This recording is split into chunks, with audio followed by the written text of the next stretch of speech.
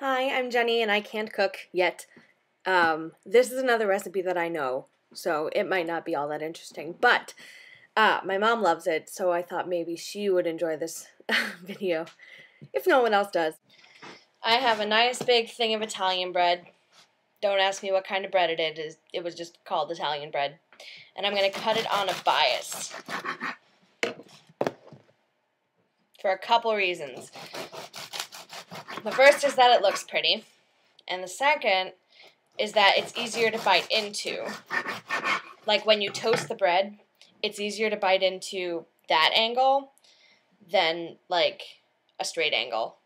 I don't have a straight angle to show you. I'm sure you know what a straight angle looks like. But yeah, it's easier to eat. Okay, I'm now going to paint on.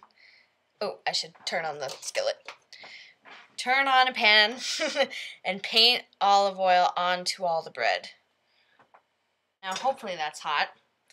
We're going to grill, or I guess fry, the bread. It's delicious. Don't, you know, don't question the deliciousness. Just fry the bread.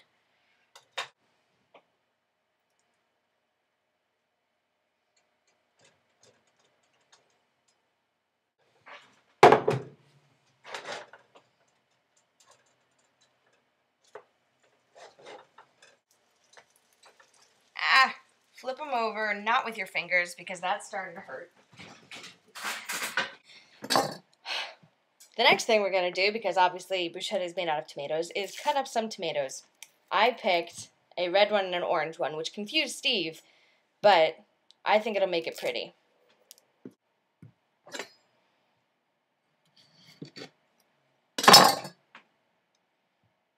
I also like to take the seeds out because I think that the seeds make everything taste really sandy.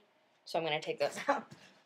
Okay, and then we'll chop it up into pretty little bat-sized pieces.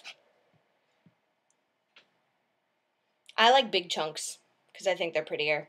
Like, I don't like when it all turns into a sloppy mess of gook. Okay, so I now have a bowl of tomatoes. Very pretty. And a very dirty laptop because it's covered in tomato juice.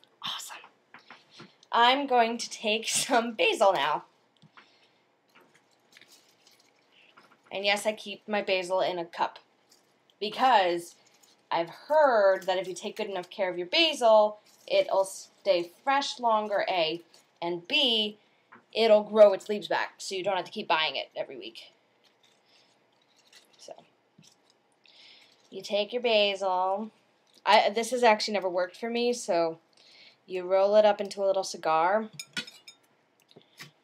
And you're supposed to be, oh, that worked. And you make little chiffonades of basil.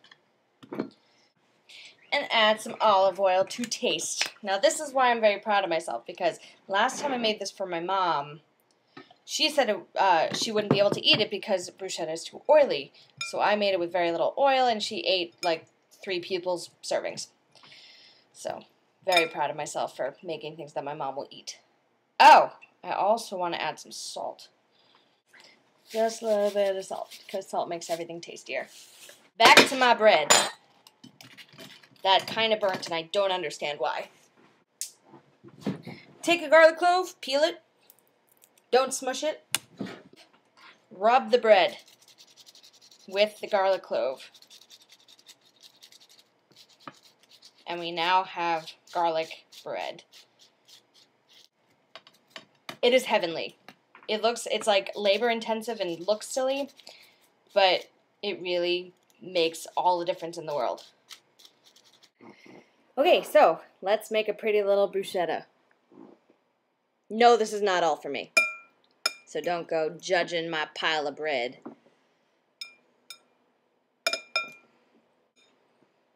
Bruschetta in my mouth.